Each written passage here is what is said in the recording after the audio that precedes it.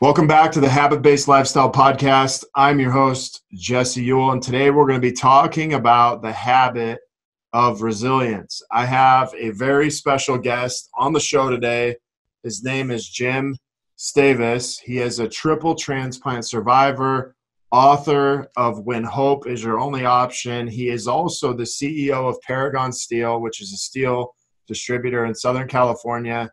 Uh, I just want to welcome you and having you on the show today. Hi, Jesse. How are you today? Hey, I'm doing great, man. So uh, I've read up a little bit on your story. Um, one of the things that really struck me was that uh, 17 years old, you found out that you had uh, diabetes. Was this kind of the start of uh, this whole health process, or was there things that happened earlier on in your life? No, that was really the beginning. I had had a pretty normal life up until that time when I was diagnosed with juvenile type 1 diabetes. And that was back in the 1970s when it wasn't as common as it is today. Right. And so, you know, back in 1970s when you found this out, uh, you know, what what was that like for you being 17 years old and like, you know, knowing what they have now but back then, I'm guessing no one really knew that much about what to treat it with or how to do that. What was that like for you? It was it was really pretty uh, shocking and um, discouraging, to be perfectly honest with you, because to be given a diagnosis, which at that time I had had a perfectly normal, healthy life, and then to be told that my life was going to contain things like kidney and heart disease, blindness, amputations, and, and a, a host of things. Plus, I'd have to take insulin shots, which for me at the time was a pretty major thing. And uh, my life really looked very different at that time than, let's say, what my friends' lives look, looked like. Sure. Yeah, I can't imagine at uh, 17 you know, hearing that not only in 2019, but this is, you know, 1970, uh, which was what, about 50 years ago? 50 years now, yes. Yeah. Um, so I can't imagine, you know, what that was like back then. So as you found this out, what, what started to change in your life from that point forward?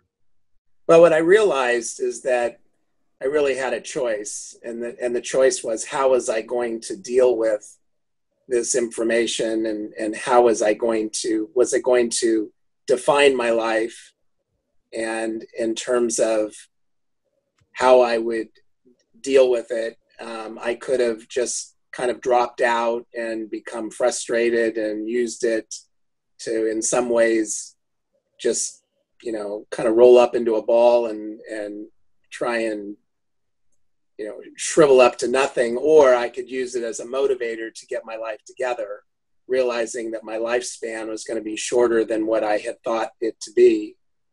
And so that's what i did as i i kind of used it to get my life in order sooner went to college started a business at a very young age raised a family and just and my thought process was that hopefully medical technology would have an answer for me when those things started to happen, which is exactly what did occur. Okay. I, I never thought back in the early 1970s that uh, organ transplantation would have been um, a reality for me many, many years later, which ultimately it saved my life. Sure. So, um, so 1970 you kind of find this out you start living your your life and you know obviously you're probably having to take insulin and and do all these testing. Where did you get to a point where you're like this is really affecting my heart my kidneys my pancreas like how long was kind of that span from 1970 to where you're like okay like uh, this is really starting to affect some areas on me well, I was told when I was given that initial diagnosis that I'd be lucky to live to the age of 50. Okay. And so in my 40s, I started having heart problems, started in my early 40s, and then in my later 40s, my kidneys started to break down, and I went into congestive heart failure, which is really very uh, close to death. Okay. And I was on kidney, kidney dialysis for about a year, and then it was then that I went to Cedar Sinai Hospital here in Southern California, and the head of cardiology there is a gentleman or doctor named P.K. Shah. And Dr. Shah told me that um, I was a candidate for a new heart and kidney transplant, and best case, pancreas too, because that was the source of the diabetes. Sure. The only problem is they had never done an organ transplant before, and he wasn't sure if it had ever been done anywhere else. So it was a pretty pretty big moment for me and it really goes back to that first discussion i was telling you back when i was 17 is that i realized that this was kind of a you know a, a, moment for me to decide what i was going to do and i basically jumped at the opportunity and and made that happen so that's this is now 14 years ago um, just recently had the 14 year anniversary of that transplant. And uh, I'm proud to say that everything's going really well because I'm just about my 65th birthday coming up in about a week from now. So, so you you had this 14 years ago on in yes. 2005, and you've you know now it's almost 15 years later, and you're uh, you're in great health. Yes, and, and all all the organs are working great, and a big part of my life and my mission now is helping for the cause of organ donation, encouraging people to donate, as well as using a lot of the lessons that I learned along the way to help them with their own adversity. Yeah, so I want to talk a little bit about the lessons. You know, obviously, um, this podcast is about the habit of resilience and finding this out at 17 um, you know, it, it, there's a couple things. Is like, man, you know, back in 1970, you know, I'm sure there wasn't a lot of people that knew what diabetes was or what it really meant. But just to hear that somebody's like, hey, you know, you're not going to live past 50 or, or whatever, I would have to think in the back of your mind, it's like you have to kind of believe the doctor at the time um, that that's true. And so your whole life it's like your life's chasing you in a way. Um, but just the fact that you were resilient enough and uh, can you talk a little bit about that? Not only that but you had a family you had a business you had all these other things going on. And in the back of your mind there's this thought of i may not live past 50 so what was that like from a, a resilience standpoint? Well it's you know the reality is we all have an expiration date. We just don't know when it is. And right. and the, for, for me to be told at a very young age when that expiration date would be in some ways gave me a timeline with which to work with. So i was being told that i'd be lu- lucky to live past my 50th birthday.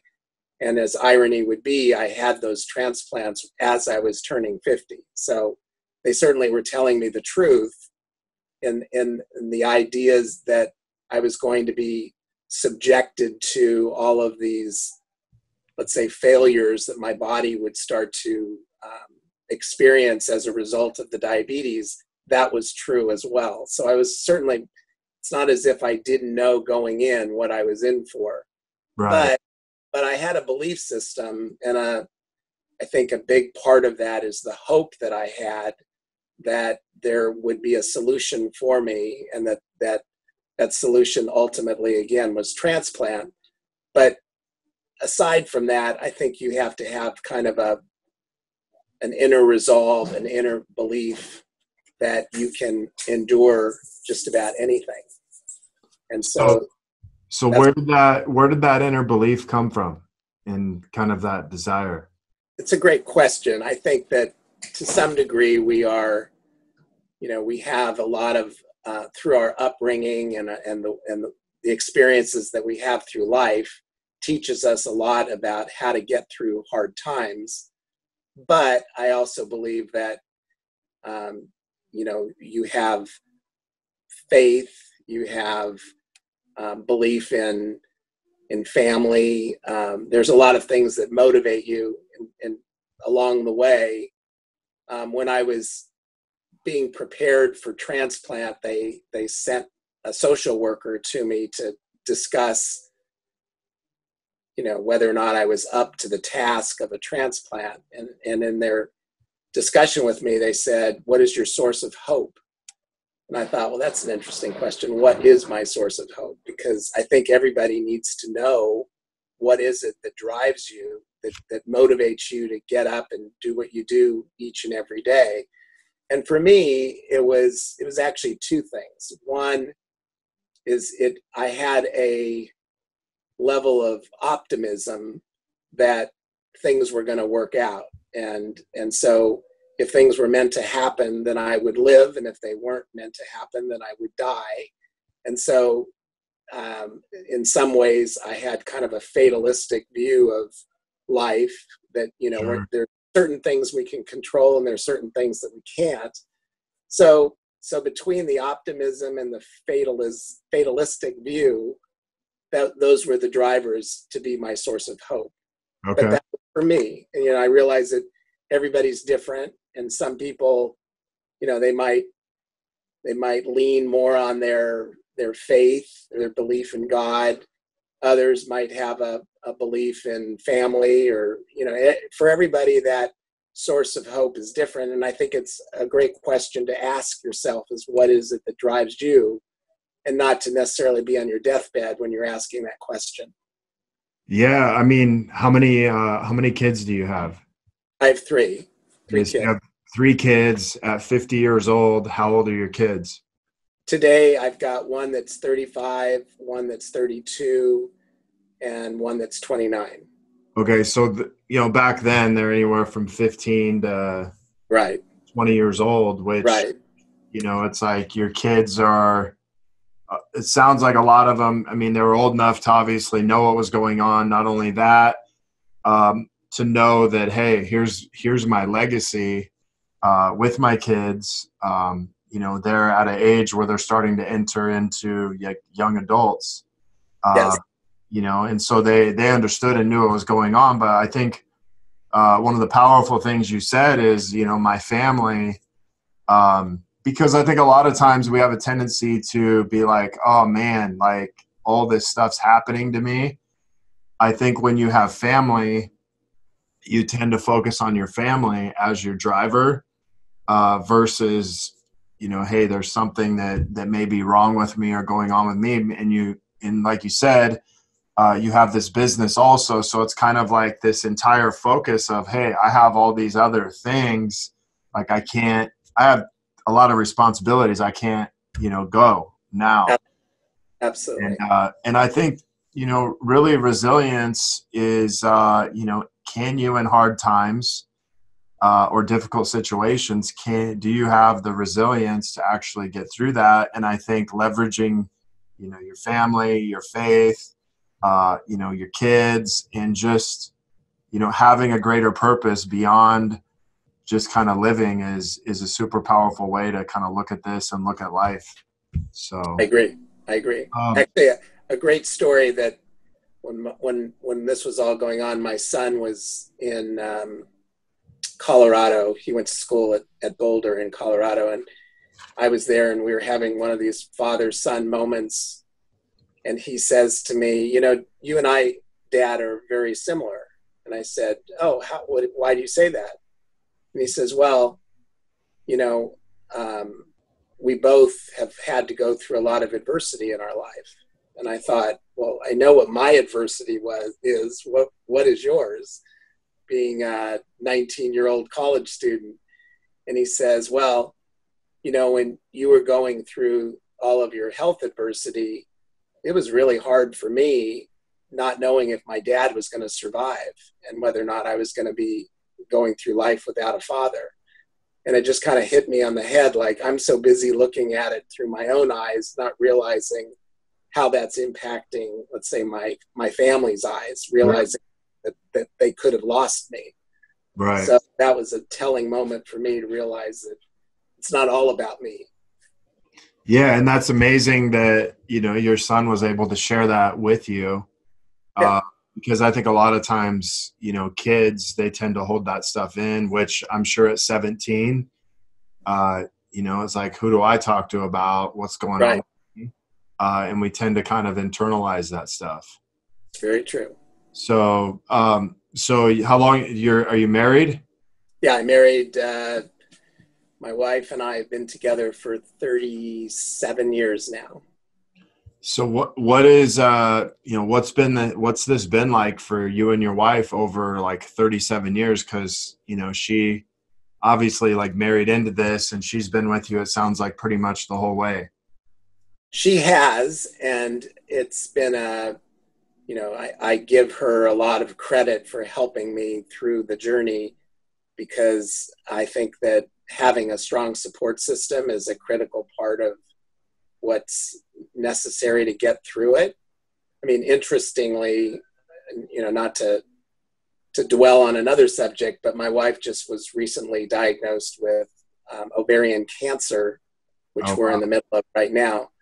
And so suddenly I am now the caregiver and she's the the center of attention, which, you know, but but because we've been through so much together, you know, we kind of roll up our sleeves and just you know, kind of like, okay, we're going to get through this just like we got through the last adversity. And my kids have, are kind of falling in line like they did with me. They're now falling in line for her. So it's, it's, it's interesting what life can throw at us unexpectedly. And that's a big part of my message is that the one thing that we know is that tomorrow is, you know, not predicted or, you know, there, there's no, uh, there's no shortage of change in in everyone's life. So yeah, just there.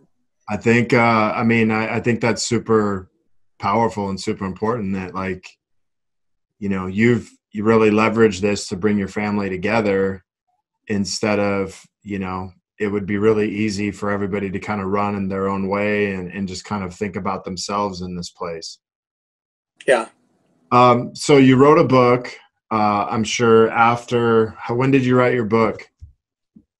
Um, it came out last year. So okay. so what what part of my business is I write a uh, newsletter, and in that newsletter I started to chronicle some of the stories of my uh, story, and I found that I had like it resonated with a lot of people, and um, so I decided that I would take that and kind of expand on it and and write a book which the idea is not just to write about my story but it's to be able to kind of write a, a how to get through tough times and using my story as the backdrop for that. And so um, it's been very well received for people going through any type of adversity, not just health, but personal, business. You know, it could be uh, just about anything because the the messaging is pretty universal. Yeah, and I think uh, you know, from a, a health standpoint, is our health really can affect everything in our life because you know it could affect our business, it could affect our family uh, which you can't always say with everything else. But I, I think that health is kind of your first place you always start. If there's something going on there, it's very hard to do a lot of your other things. Very true. show up in business and in life. Um, so, you know, how can people find out about this book? Uh, where can they find it? So again, the name of the book is When Hope is Your Only Option. It's available through booksellers like Amazon and Barnes and Noble. There's an audible version in my voice, okay. which, um, which I recorded as well. And um, I have a Facebook page, Jim Stavis Speaks, which shows where I'm speaking at and posting blogs, etc. And then there's also a website, which is jimstavis.com which you can go to. And I did a, um, a documentary on my story and also the story of the donor boy who died and whose organs I've got. Um, he was a, a football player up in the Santa Barbara area, and um, I've gotten to know his family pretty well. And uh, you know, I, I chronicled his story as well because you know I'm the survivor, but he was unfortunately tragically lost in this whole this whole story. So yeah, so let's talk about this for a second. Is um, you know, you find out you have to have a heart. Daddy, hey. You, uh, Daddy, can you turn my show up? No, not right now. I'm on a call. Thank you. Um, that's my little daughter. I like that. so, uh, you find out that you have to have a heart, um, kidney, and pancreas, right? Yeah. Transplant. Uh, and you know, to find a donor for one is probably pretty difficult, but to find a donor for all three is probably extremely rare. And I think the other thing that you said is this hospital had never done three uh, at one time, correct? That's correct. And so you ended up having this 17 year old boy uh, who played football. Um, he he got into an auto accident. That's correct and he was an organ donor or his parents um, you know said it was okay to be an organ donor i think at 17 do you get to choose so so the way it works is that um, particularly when you're when you go to the dmv for your license they'll ask you a question which is do you want would you be willing to be an organ donor and for many that's the first time they've ever been asked that question so right in this particular instance, this boy's brother had a friend that had passed away and was an organ donor. And so my donors had said, God, that would be kind of cool. I mean, you can't take your organs with you. At least you could save other people's lives. So he made the conscious effort to say yes to organ donation. And then ultimately, when he passed, unfortunately. Um, he was he had consented for his organs to be donated, and okay. and so I was the beneficiary the beneficiary of that. Um, I had tip, typically in this in this world, this organ donation world, um, donors and recipients don't meet one another. In my instance, I was um, given an opportunity to meet with them and have had a continuing relation with them so that uh, we, we I was riding on the Rose Parade float a couple years ago holding his his um, picture and um, the family was in the stands with my family and it was kind of a cool thing. So we've we've had an ongoing relationship with this family. Uh, we get together a couple times a year. They listen to my to their son's heart beating in my chest when we get together. So it's a, it's it's a pretty special thing really. Yeah that's amazing. Uh, so if you guys are listening to this um, you know i'm probably not here interviewing jim if you know this 17 year old boy doesn't donate his organs. Um, so if you're listening to this like just think about the impact um, that this is because like this guy's living proof that you know people can save people's lives. Uh, and again we can't take our organs with us uh, when we die. So I, I would really challenge you to think about this uh, is how you could impact somebody else's life and actually save their life by you you know doing this and knowing that a 17 year old boy actually like thought about that um, and truly had an impact on your life and just the amazing story you have with the family. Um, so yeah, I just I think that's really amazing. Well, thank you, Jesse. I, I, I appreciate the plug because organ donation really does save lives. In fact, you save um, eight lives or saved alone every um, death and um, it's and if there's there's two ways to one the DMV and the other is just they have a registry on donatelifecalifornia.org that you can go on and actually register online. it's uh, it really does. I, I'm I'm living living proof that organ donation saves lives. Let's get into a lesson somebody could take away from you and just kind of what you've been through, a life lesson. Okay. I would say that a life lesson that's been probably most important to me is just to never give up hope. I mean, hope to me, I, I view it as it's something that has kind of been my um, mantra, if you will. I view hope as an action verb. It's not something that you just sit on the co- the couch and think about what you're wishing for, but it's it's kind of a call to action and and what that action could be is um, researching whatever it is that's besetting you. Uh, it could be uh, mentoring somebody through uh, their, you know, through something that they're going through. It could be praying, meditating, doing something that puts you on the right path, knowing that you're going to get from here to there. Okay, so you know, to you, hope is putting yourself in action of actually like taking a step forward even if it's a small step in doing one thing like praying meditation studying right. about maybe what's going on in your life mentoring right. so it sounds like these are all things that you did um, instead of staying stuck in right. one place of man like uh, there's just no way for me to to cure this and i and i think people overlook this is they want to know like hey what's the secret to hope or what's the secret to w- resilience and what i'm hearing you say is it's just taking this one step forward uh, every single day.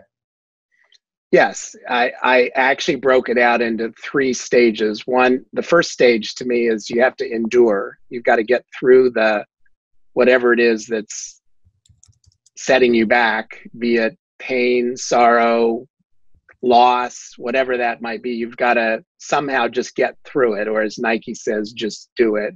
Okay. Um, the se- the second stage is hope, which is what I just was talking about, which is putting yourself in the right frame of mind, um, which can affect your belief system, your attitude, your behavior.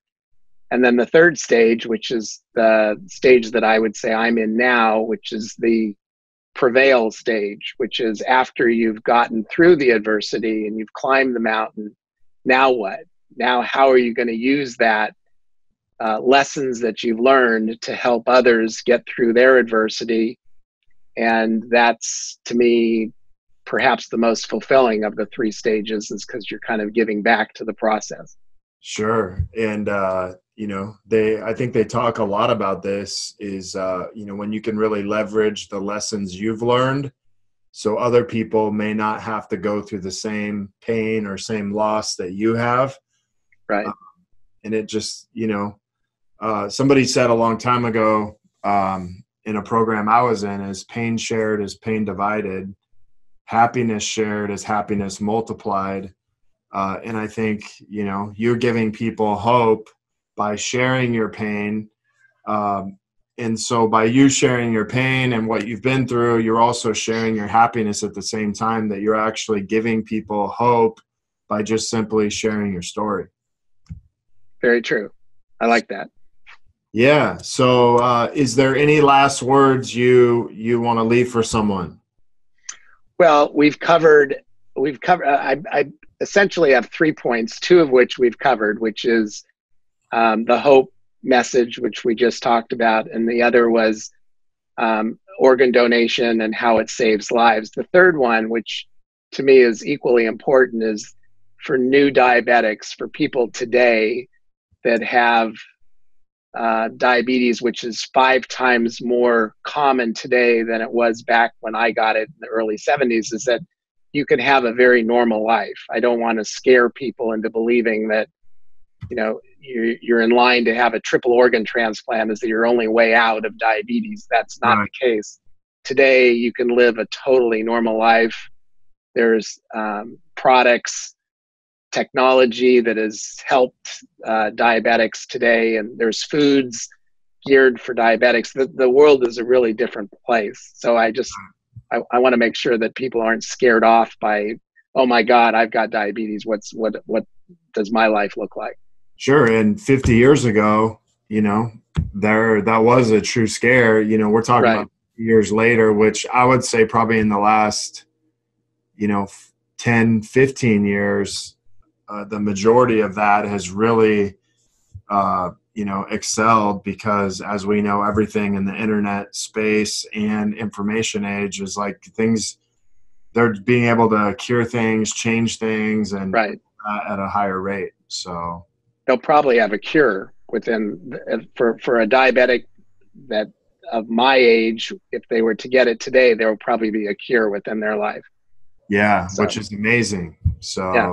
And I, but I think the biggest cure for everybody is to have resilience in anything Yes. you're doing, and uh, and I think that might be a a greater cure uh, for everything uh, in life versus you know just kind of staying stuck in the pain. Because I think a lot of people stay stuck in this uh, pain uh, and they don't get out and they don't have hope and they don't prevail.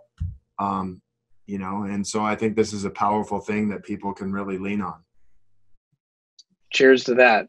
so well hey i want to thank you for being on here uh, and sharing your story and just sharing this time with you. I, I think it's amazing what you've been able to do and endure uh, and just what you're doing with what you've been through is is super powerful.